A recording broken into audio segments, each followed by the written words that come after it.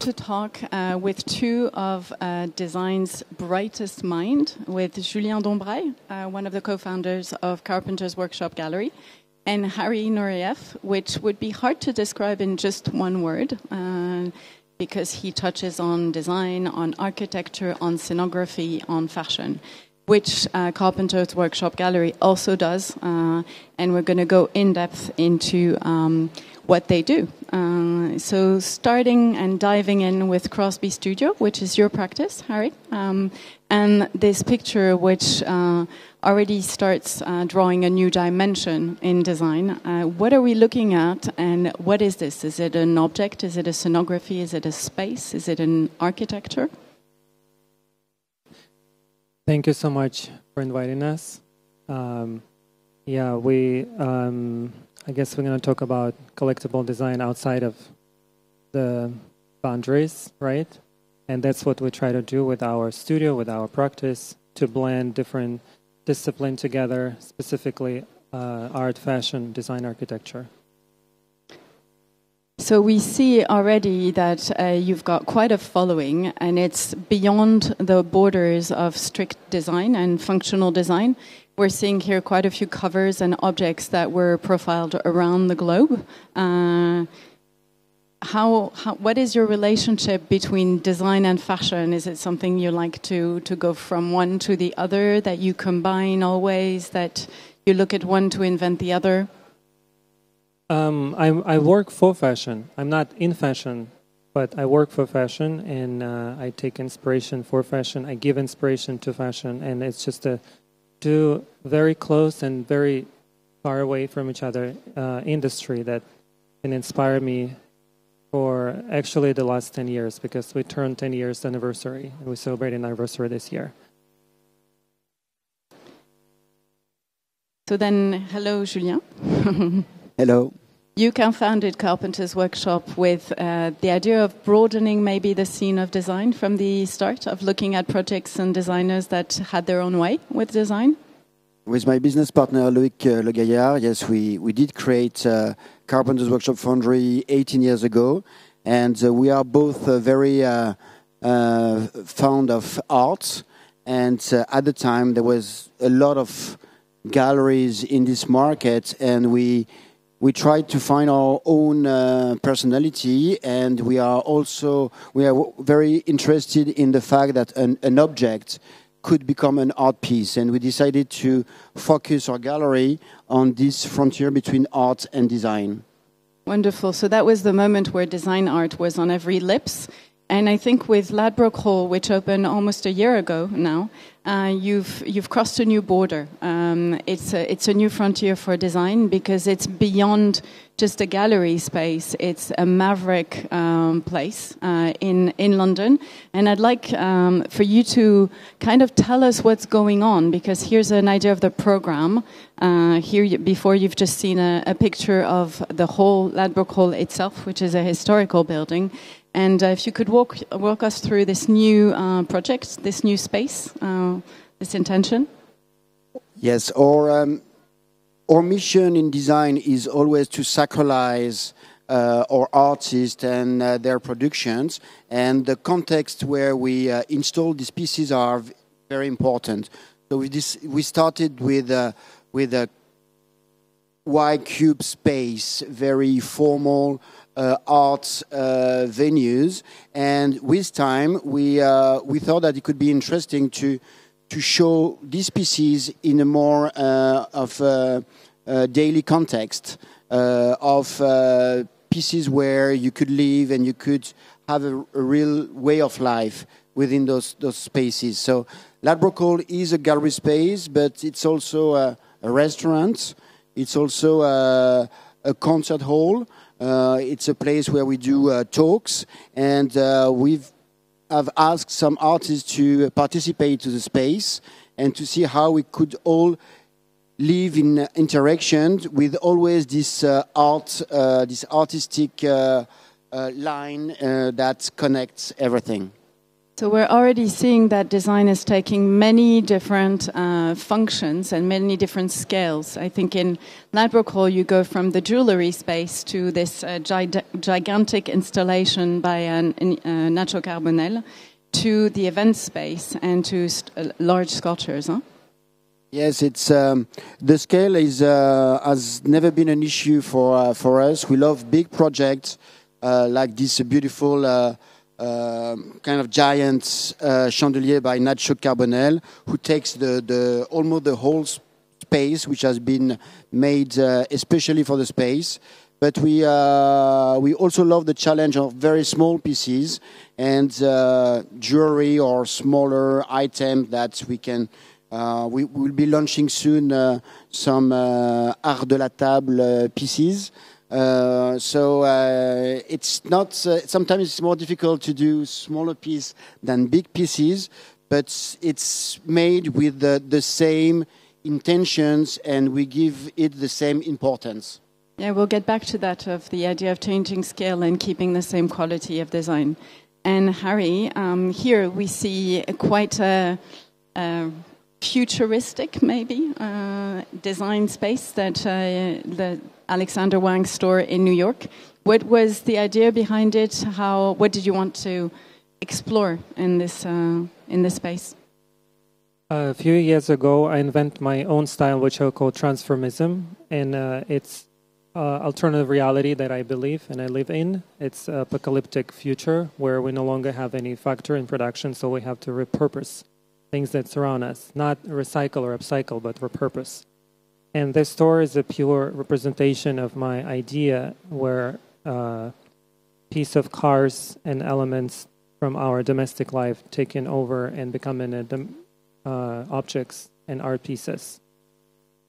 And here we see another uh, intervention of yours where, again, we don't know if it's a design object, if it's a room, uh, the scale is completely different, and you're playing uh, between the functionality, the scenography, uh, and the space. This is one of the recent work, no longer exists, uh, was made for our studio in Paris, and uh, here we represent a combination between history um, and traditional Parisian architecture and futuristic approach of um, Devel that we might gonna ended up in, in one day, where we'll have to live in a capsule. And here we're back to the number one slide, which was a store uh, in the Palais Royal. So talking about history and uh, and the weight of beautiful uh, historical grounds and walls. Uh, what uh, what was the idea here?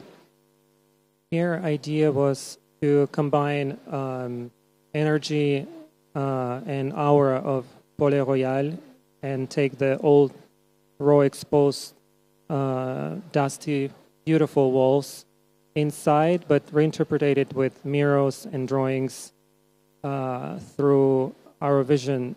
And because of the mural reflecting the garden, uh, all the places intertwine in one area and makes you feel a bit lost uh, in time and in space. Lost in time and in space. That's another uh, uh, confrontation of uh, centuries because it's an 18th century gloriette that you reinterpreted for Mobilier National. With this project, we were very honored to work with uh, Mobilier National and uh, Minister of Culture of France, where we reinterpreted 17th century tapestry, and uh, we um, create a space that kind of remind one of the tapestry um, scene, and we use AI to add uh, some elements to this tapestry because obviously we can't use the real material because it's um, um, it's preserved and it's good that some things can preserve in this world and we can't touch them. Um, so adding that new frontier of AI on top of it to create spaces or to multiply the dimensions. Here it feels like a, it's very much like a video game. Uh, it's a store for Jimmy Choo, uh, where you played on on what we perceive? Uh, uh, speaking of AI, the previous project is real. We just use AI for create the print for the tapestry. But for the next one, uh, this store was uh, made in uh, last year at um, Avenue Montaigne, and the idea was to take you back of a house of um, traditional retail, the things that we usually try to hide, the secrets of the real uh, uh, glamorous world, back of a house. And it was the first time exposed to public where shoeboxes become in display. And we're back to this idea of cultural venues, of prototyping, of exploring. And I want to come back to Ladbroke Hall because it's it's quite a quite a vanguard in the way it brings together so many uh, specificities and, and, design elements. So again, we see the Nacho Carbonell uh, piece, which is fabulous, and then under it there's a bar that's no less fabulous, uh, which was designed by Vic- Vincenzo De Cotiis. Uh, how did you come about to uh, to customize, to prototype such a such an incredible piece for the venue?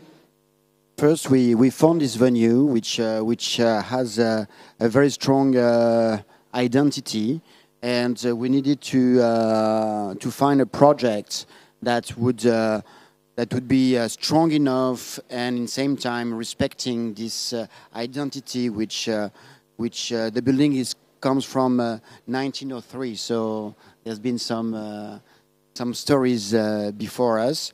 Um, we wanted to do a restaurant for since the beginning in this in this space and Italian restaurant which is all today run by Italian chef Emanuele Polini, and uh, it came naturally that Vincenzo De Cotiis, who uh, comes from Milan, could uh, could be the perfect uh, artist to uh, to design this space, and uh, he did it in a, in a beautiful way, which is very subtle and very present in the same time.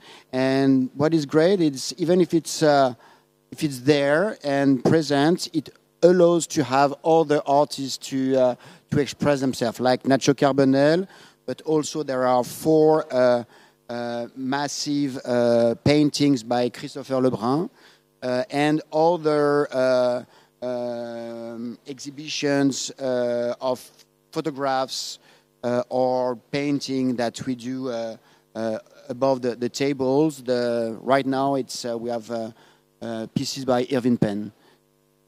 And it's interesting to see that we're beyond the gallery space where it's do not touch the objects, they're precious. Uh, it's something do not sit. And here suddenly it's a bar where you order a drink, uh, you can touch and feel and see what it's like to live with these pieces. It's, uh, it's the whole idea that we try to develop since day one with Carpenter's Workshop Gallery. It's to, to live with, uh, with art in a, in, a, in an easy way uh, a table, if you can't uh, touch it, uh, is a problem to me. So it's important that uh, people can live in their space without feeling living in a museum. And you can have very fine furniture that could be also very functional. And I think we're seeing also that you're playing with inside and outside. Uh, you have you have always uh, looked at sculpture uh, and at putting sculptures outside and at bringing designers into the culture in the sculpture and external space, which you also do at Ladbroke Hall. Absolutely, it's uh, we have the chance to have a, a garden at Ladbroke Hall, and there is a lot of uh, pieces outside. Right now, we have Wendell Castle, like these pieces in bronze, but uh, we also have uh, an installation by uh, Korean artist Wonmin Park, and also we have a Jean Prouvé uh, house from the Réfugiés de Lorraine, which which can host some some some guests. So again, breaking the boundaries of what uh, collectible design is actually known for. Um, here we see uh, some of the pieces by uh, Won Park um, that he designed um, for you. And then you work also a lot with customizing and commissioning uh, pieces huh, with designers. You work hand in hand with uh, to organize um, exhibitions. Uh, it's not just oh that's a great project, let's show it. It's like what do we want to do next? So we um, our very first. Uh, mission is to be a gallery, and as a gallery, we are producing exhibitions so we talk with artists and we, uh, we see what they would like to express. And this comes with one exhibition. But after this, that this exhibition is produced with uh, maybe 10 objects, 10 pieces. We, uh, we, we are developing some uh, private commissions for uh, custom, uh, cust- custom houses and special clients. Um, so here we're seeing quite a few of the studios. Uh, no, sorry, um, that you work with. No. Uh, This is Batten and Camp uh, Studio. They they are uh, new uh, new artists uh, just signed uh, at the gallery, and they are coming from New Zealand. Okay. So quite bold spaces, and then this is one that's very close to your heart, uh, Ingrid Donat, and how uh, we're going into the intricacy of the details on that piece. Huh? Yes, the the lady in the middle of the the, the artisan here is Ingrid Donat, amazing artist who happens to be my mother, and that's actually how I started in uh, in this adventure. Uh, I was uh, 20 years old. Uh, my mother was 40 at the time, and we literally started working for the first time on our own and together. And uh, it was supposed to be on my side just to help for a few months, just to launch her uh, her activity, and uh, it happened to uh, to run my life. So here we're seeing some of Carpenter's workshops uh, gallery spaces, which are all very different, and I think that's also is uh, a way of expressing that you're out of the white cube, um, that you the spaces are very different and, and they're tied to a market, uh, different sensibilities, or different means uh, of expression. We are two French uh, co-founders, but we have started in London. Or the very first galleries was there in the former carpenter's workshop. That's where come the name from. And uh, and then we developed Paris because I was commuting a lot because I'm uh, in charge of the production of the PCs, and uh, I uh, I tried to develop uh, some pieces with uh, English artisans, but it was not that easy than in France. So we've decided to focus in France, where I believe there's the best handcraft in the world, maybe with Italy. And uh, so then we, we opened the gallery in uh, in Paris, and uh, and then New York and Los Angeles came after. And for us, it's very important to represent our artists globally. It's not a design world is not like the art art world where you have a lot of galleries and a lot of artists, and sometimes the the, the gallery the, the artists are uh, represented by different galleries. In the design, it's not the case. So if you really want to have your artist to have an international international audience, you need to have uh, galleries in uh, in the most important cities in the world and to participate to fairs as well. So we're seeing a little bit of the Paris gallery, different, very different spaces. Uh, uh, the apartment in uh, the Paris gallery. And then let's go back to you, Harry, because this was at Carpenter's workshop uh, in Paris. And it was quite uh, a stunner uh, because suddenly you brought denim to another level. And I almost feel when I discovered the space that you brought denim into the design world, where it didn't really belong, it belonged in fashion. How did you come about with this uh, incredible installation? Um, so I was uh, incredibly lucky to have a solo show last year with Julien and the team uh, of Carpenters in Paris, and uh, we had carte blanche. And idea was to actually bring real material from different industry, which was for me naturally fashion and denim as a material of the time, which has been material of the time for the last couple of decades, never been introduced and designed properly. And I was thinking that can actually go there. I don't think it's design. I think it's art because it's not really 100% functional thing, you know, in terms of durable material and other uh, aspects that comes to service. Uh, but it was a great experiment that probably push a little bit boundaries of what's important today. It wasn't made for uh, quick TikTok or for set a trend or anything like that. It was just a um, our action as artists to say that this world it's not black and white, not that square, and sometimes the things that we used to wear can be And- on the furniture. and uh, being a sofa. So here we see another view. this exhibition was really something uh, uh, very important to us and very different. All the, the, the, the artists we work with, they, they've been creating pieces for today.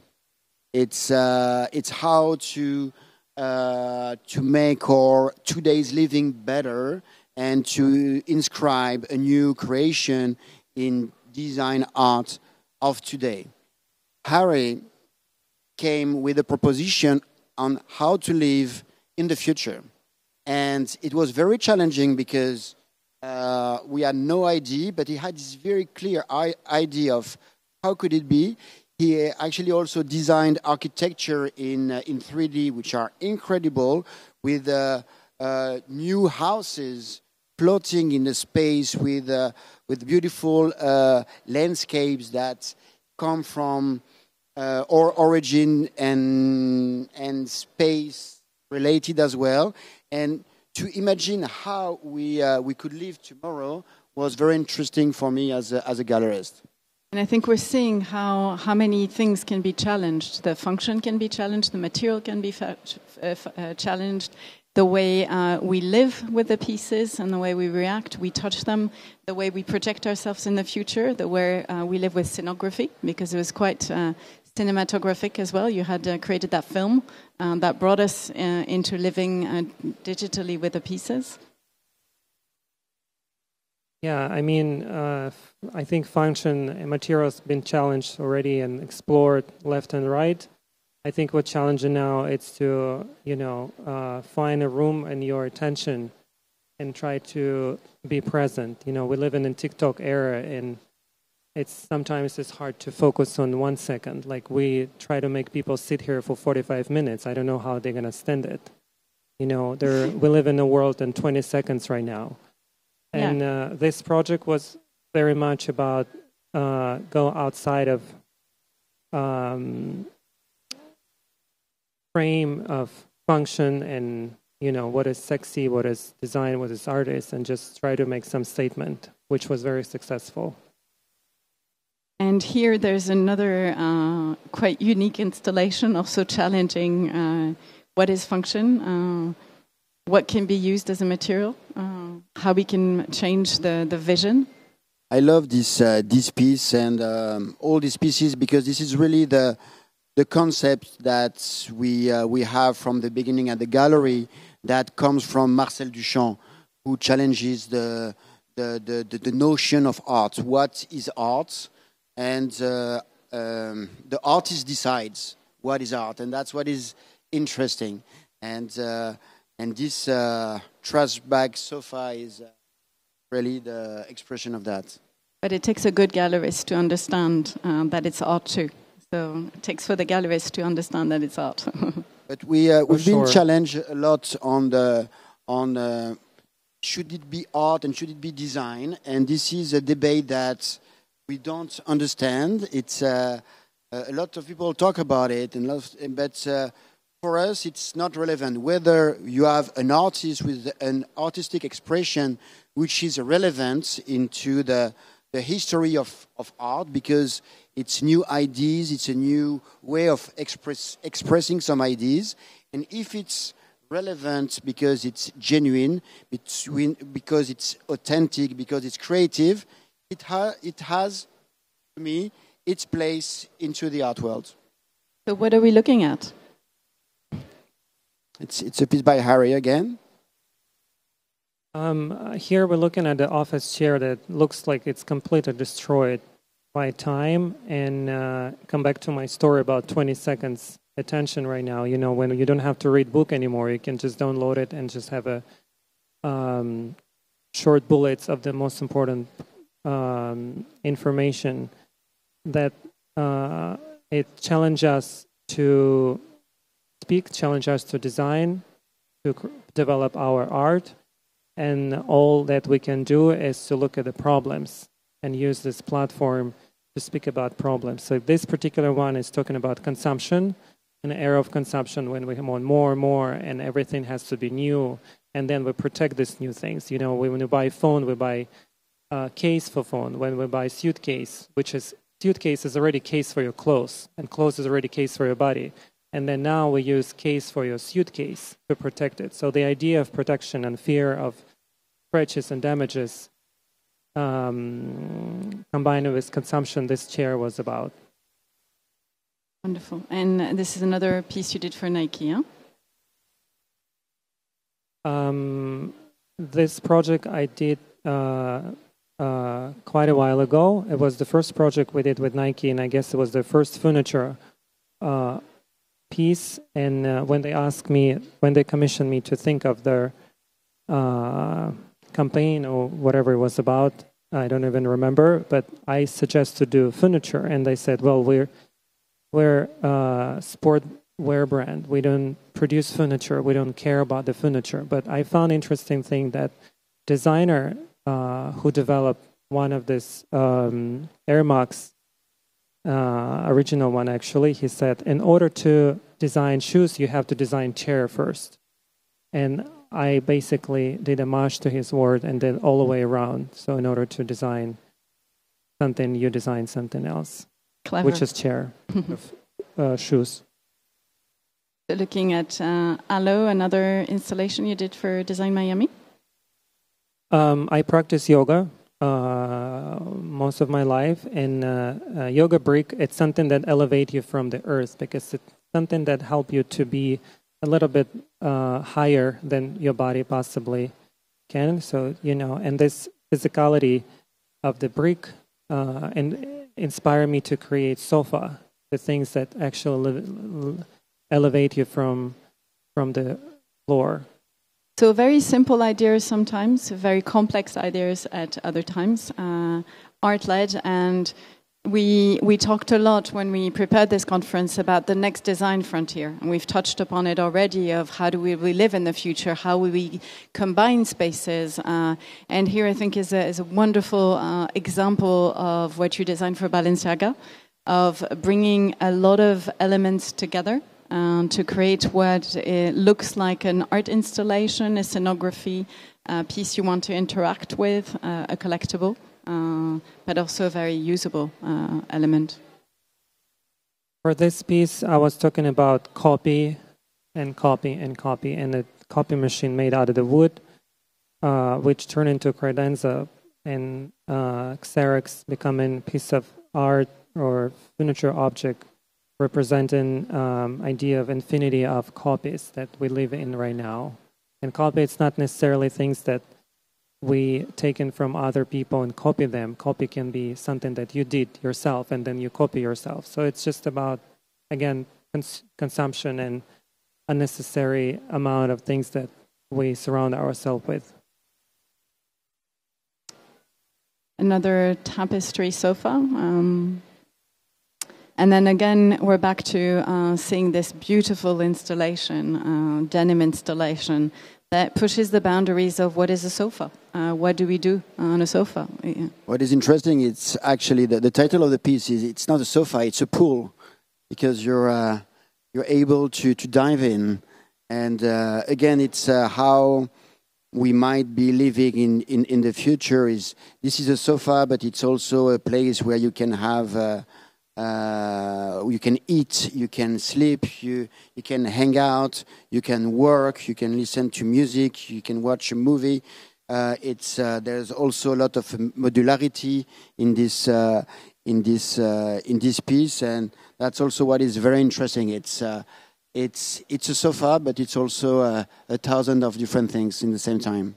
And not only solo player, you can meet, you can gather. it feels like something that brings together.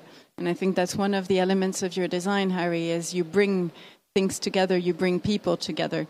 Uh, there's something that uh, that attracts people. Uh, what is it? What am I seeing? Uh, especially with the mirrors and, and the different reflections. And um, one project uh, we wanted to touch uh, upon because we've been talking about the projection of design into the future. And I think Maarten Baas' installation and the play with time, this children's clock, uh, and then the different play times.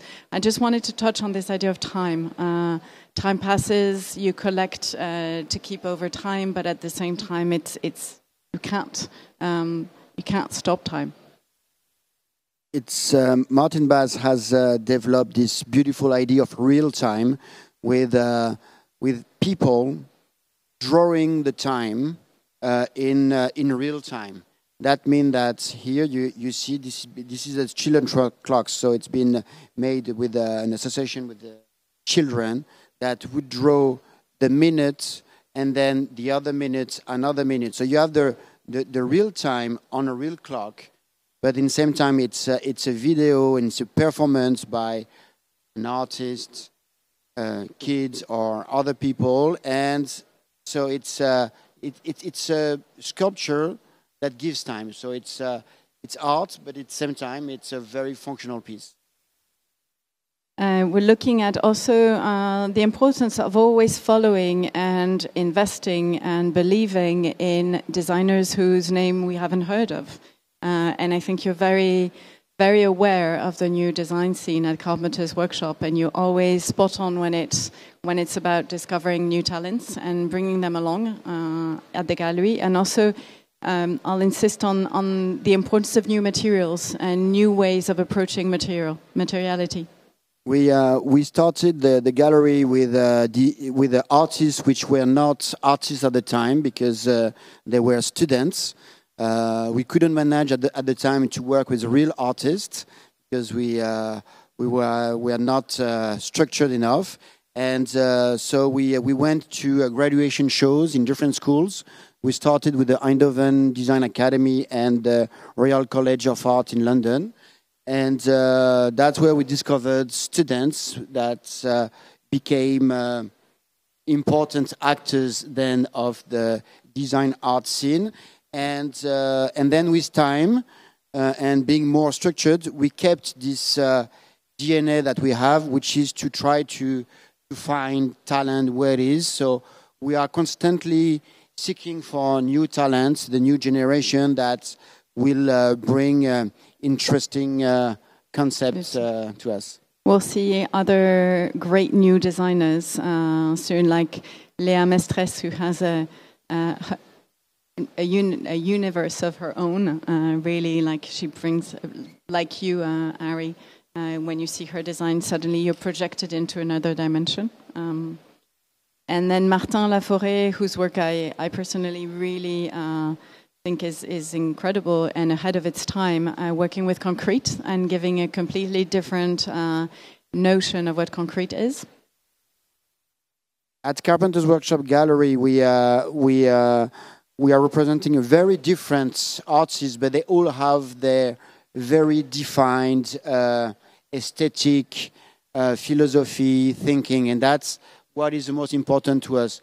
As I was saying previously, what is the most important to us is not necessarily uh, how it looks, but more what it expresses, and that this expression uh, adds something uh, to the to the bigger history. Great. Um, and then something that we announced was, you know, could there be a new definition of collectible design? Because a bit like design art, what is design, what is art, and what is design art? A lot of people um, asked me recently, what is collectible design?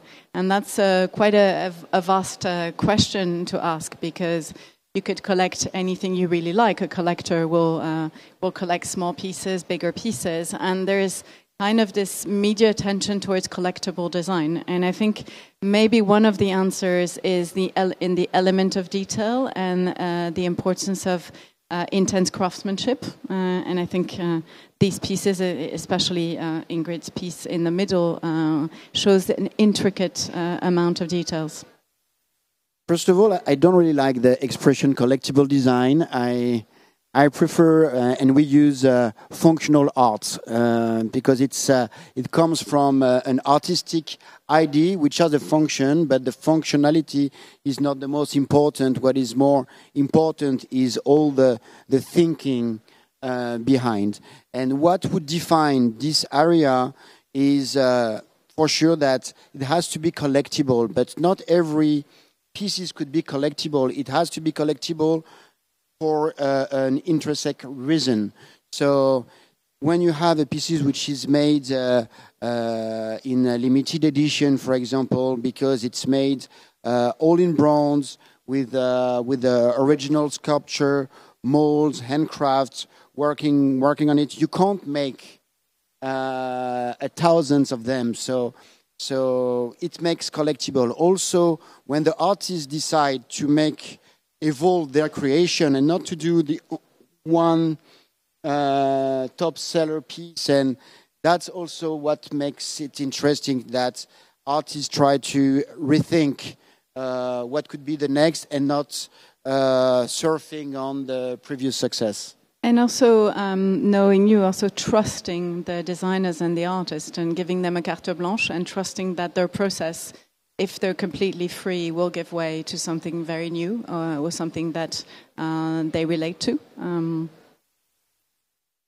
we've we've always tried to. Uh, we, we, thought of our role uh, in uh, creating the best. Um, um, environment for artists to be able to create. So it comes from uh, first from the creation, from the ideas, trying to push them to to go even further of what they they thought, and then it's been uh, about production, which is something very important to us, and try to find solutions for the for, for the production uh, to make those pieces exist as uh, uh, as they were imagined by artists, and then is to try to make uh, uh, to, to, to put them on the market so they have a real life. It's not just for museum. It's just not crazy ideas.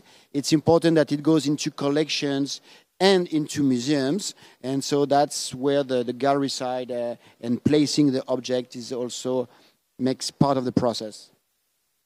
Um, thank you. So i have been going through slides of showing how uh, they can be placed in in, uh, in space and how we can live with them, how we can uh, be challenged by them also. Um, they can redefine the space. And here we're back to with you, Harry, on uh, some very simple um, but really bright and clever uh, elements of design. Sometimes I feel you're back to uh, the essence of the material what is a line, what is an angle, uh, what is a chainsaw. Uh, if you could speak a little bit about this piece. So this speaks speak about quality and the low quality of the image that we used to uh, from um, our work when when we work in a in, uh, on a material level or in carpenter level or even just in an image digital level, we have this low quality of things that we don't like for some reason. And I found beauty in it, and I decided to turn traditional four legs chair to this low quality pixelated image that became a stainless steel piece. So always challenging the perception, challenging the perception of what is furniture, and we're seeing again those uh, those images of elevating self, uh, headlight chandelier, uh, which is a you know uh, into the into the light, uh, stop being stared at by the light of a car. And I think the car element is is also part of, of things you like to uh, to work around. Huh? I mean, it's it's the end of the day, it's the light. It's either the car light or anything else. It's a light, and the light can serve anywhere, inside, outside. And if I will take this third tip of what the material and what's the function is, and then we'll just play with objects and try to replace them by replacement, we can find a new, uh, interesting territory. So, challenging the function, um, coming to very simple designs. Um, and then uh, to finish up this conference, we wanted to look at how design can be expressed outside. And I think the great example here uh, in front of the Centre Pompidou, we see the Jean, uh, uh, the Jean Prouvé uh, Pavilion uh, in, at Ladbroke Hall in the backyard, uh, and also sculptures that have been installed. So I, would like to come back to how design is not only for interior spaces, how it can live outside, and how it can be scaled up. Again, I, I feel that the design or functional art as we do as, as, as we like to do it is uh, uh, is is sculpture is functional sculpture and you have this tradition of garden of sculpture, and the sculpture are, are, are meant to be outdoor uh, at the beginning, and uh, and uh, and the design pieces as well. And uh, we thought with the Wendell Castle pieces that it could be very interested to to have these pieces in bronze rather than in in wood as Wendell was originally making them because they are big and massive, and it's uh, easier to place in the garden rather than in your home. And, uh, and this is another example of uh, pavilion, uh, which is uh, also uh, an amazing uh, way of doing functional art. Uh, this is Atelier Van Lieshout uh, installation, uh, which was made in front of Centre Georges Pompidou called the Domesticator. And you could really go inside, and there was different rooms. And in the head, you had a bedroom that you could use actually.